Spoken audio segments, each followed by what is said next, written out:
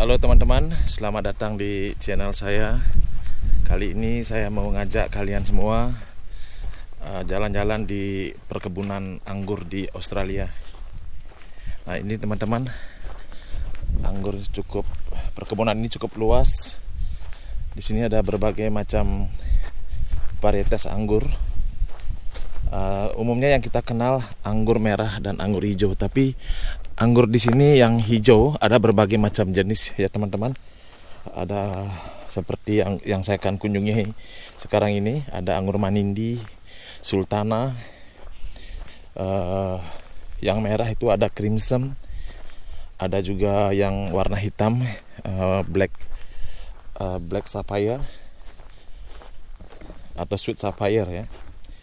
Nah ini sekarang kita akan melihat-lihat di pohon ini ya, yang di sini nih. Ini Anda bisa lihat teman-teman. Nah, di sini buah anggur. Nah ini kira-kira kalau sudah besar nanti di saat panen uh, beratnya sekitar satu kilo. Ya. Nah ini lihat teman-teman. Ini cukup luas juga. Ini satu row ini uh, kurang lebih ada sekitar 50 pohon ya. Nah, ini coba dilihat teman-teman. Buahnya besar-besar. Nah, ini saat panen uh, pada bulan Janu Februari ya kalau anggur hijau jenis sultana itu panennya biasanya di Februari. Kalau Januari uh, anggur yang jenis manindi. Ini masih muda teman-teman. Coba lihat ini. Ini nanti bisa akan menjadi besar ya. Nah, ini lihat nih. Bisa kalau yang besar ini bisa mencapai satu setengah kilo sampai 2 kilo teman-teman. Ini buahnya cukup lebat juga di sini nih. Biasanya yang saya tahu satu pohon ini kalau lagi buahnya bagus lebat gitu, satu pohon ini bisa sampai tiga tiga box di mana satu box itu bisa mencapai berat 10 kilo. Jadi eh, uh, 30 kilo ya sampai 40 kilo dalam satu pohon ini tapi ini mungkin ya sekitar uh, 2 kilo lah. Eh sorry uh, 20 kilo atau 2 box. Karena ini buahnya agak jarang sedikit. Tapi ada beberapa pohon juga yang buahnya yang sangat lebat teman-teman. Coba lihat ini. Nah ini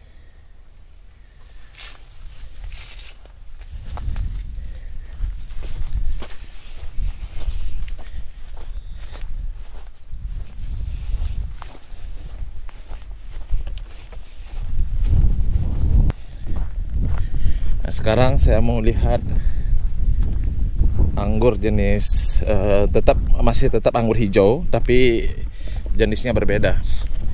Uh, kali ini yang saya ingin uh, lihat anggur jenis manindi. Ini manindi ya? Manindi kan? Nah ini teman-teman. Coba lihat di sini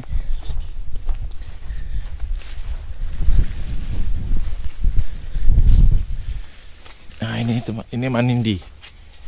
Ini manindi ya? Apa bukan ini sultana ya? Ini manindi kan? Ah ini manindi jenisnya lebih besar besar teman-teman. Lihat nih. Nah ini jenis manindi. Nah, ini. Oke, jadi dia berbeda dengan yang tadi yang sultana tadi. Nah, sultana tadi kan dia berinya dia apa namanya? agak panjang-panjang ya. Kalau sini agak bulat sedikit ya agak bulat-bulat dia. Nah ini panennya bulan Januari. Nah, sekarang saat video ini saya buat ini di bulan Desember ya. Jadi belum bisa panen. Ini uh, diekspor ya ke tergantung sih permintaan. Ada yang ke Jepang ada juga ke Indonesia ada juga ke uh, mana ya? Ke Cina. Ah, biasanya Cina.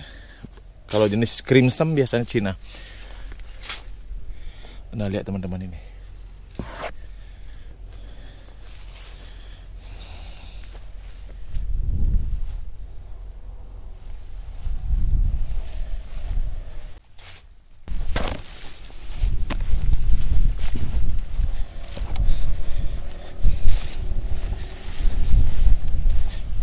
Nah, ini seperti yang teman-teman lihat ya. Ini satu row ini ya. Di tengah-tengahnya ini ditanamin rumput ya.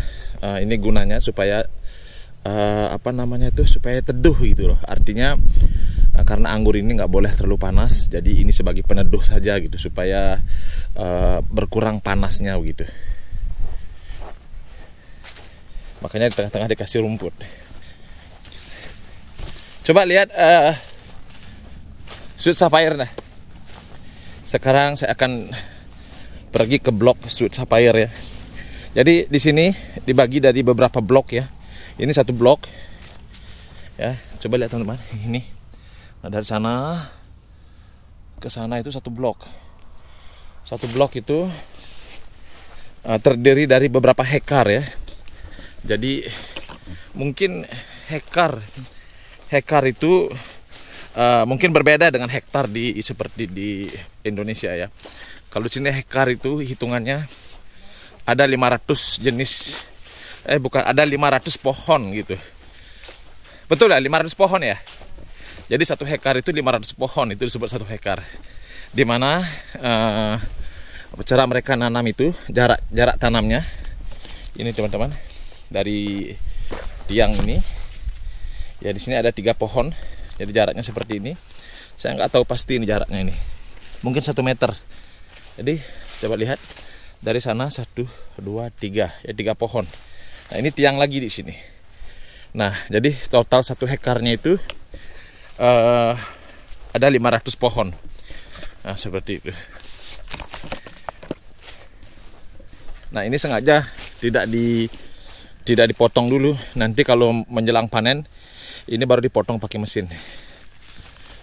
Supaya tidak mengganggu di saat proses pemanenan nanti.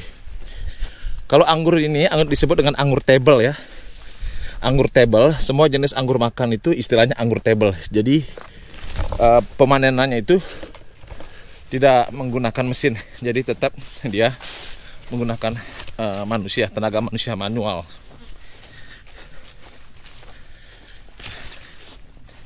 Sekarang uh, bulan Desember di Australia itu musim panas teman-teman. Berbeda dengan di bagian negara bagian utara di mana Desember itu kan musim dingin, tapi di bagian selatan termasuk Australia ini musim apa Desember adalah musim panas. Sempat suhu bisa mencapai uh, 41 42. Jadi 40 ke atas. Kalau saat dia suhunya tinggi ini tanaman anggur ini banyak memerlukan uh, air. Nah sistem irigasinya ya.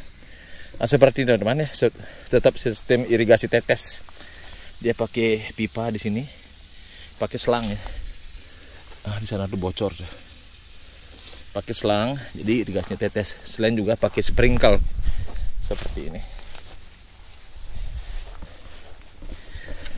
Oke sekarang saya ngajak teman-teman ke blok Sweet Sapphire. Jadi bloknya seperti ini. Ini dari sini. Dari sini. Dari ke sana. Sampai ujung sana. Itu namanya satu blok.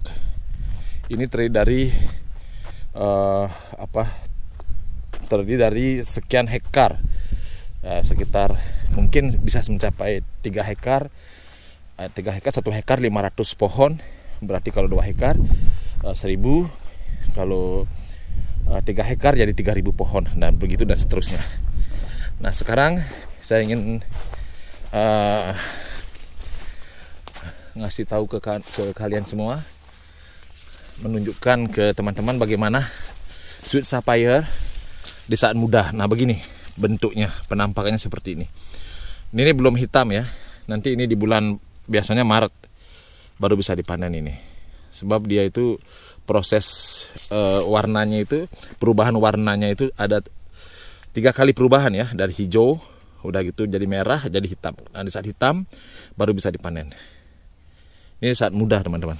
Seperti ini sweet sapphire. Banyak orang yang bilang juga kalau di Indonesia disebut anggur jari katanya gitu. Nah ini lumayan uh, buahnya lumayan lebat ya.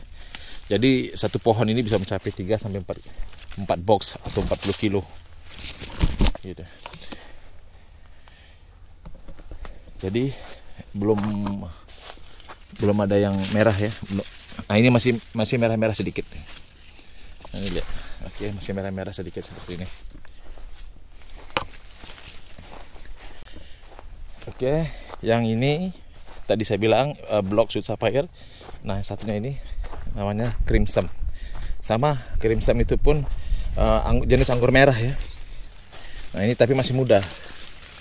Nah ini lihat nih dia bentuknya kecil-kecil tapi nanti bisa akan menjadi besar sebesar mungkin sebesar ibu jari lah. Lebih kecil lagi sedikit. Ini jenis crimson teman-teman. Biasanya ini diekspor ke Jepang. Lihat nih. Nah, ini masih muda.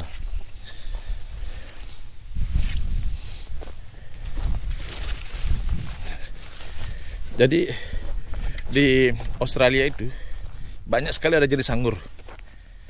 Autumn crisp autumn crispy uh, apalagi itu autumn king ya banyak sekali. Uh, ada yang namanya anggur. Adora. Uh pokoknya macam-macam jenis anggur ada di sini. Sampai nggak tahu berapa ratus jenis anggur. Gitu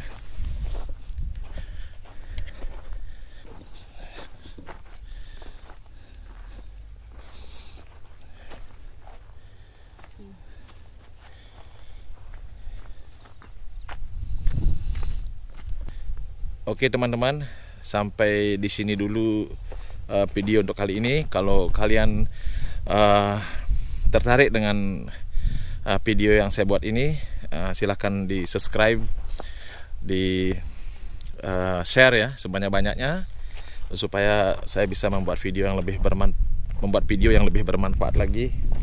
Oke, salam sehat, salam sejahtera semua.